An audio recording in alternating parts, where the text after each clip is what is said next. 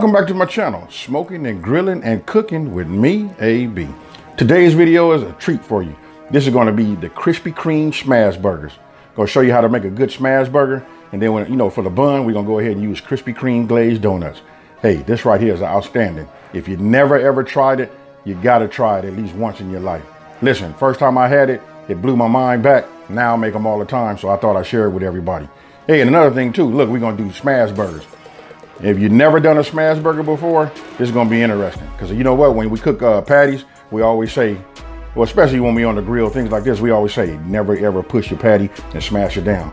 But here, I'm gonna show you when you're making a smash burger, look, the tricky is, once you roll your ball up, your meat up, and you get it into a ball, you put it in your skillet, listen, you smash it down then before it can release all of the flavors, you know, the juice, uh, the fat, the flavor.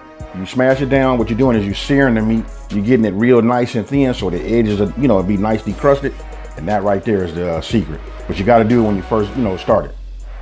So what I do is put it in, smash it. I hold it down for about 10 seconds. After that, I let it up and I let it cook. And then you want to use something, uh, sort of a, a high heat. I like to see my pan smoking a little bit. It lets me know that I got it right. It's searing and it's cooking and it forms that crust right, you know, right around the edge.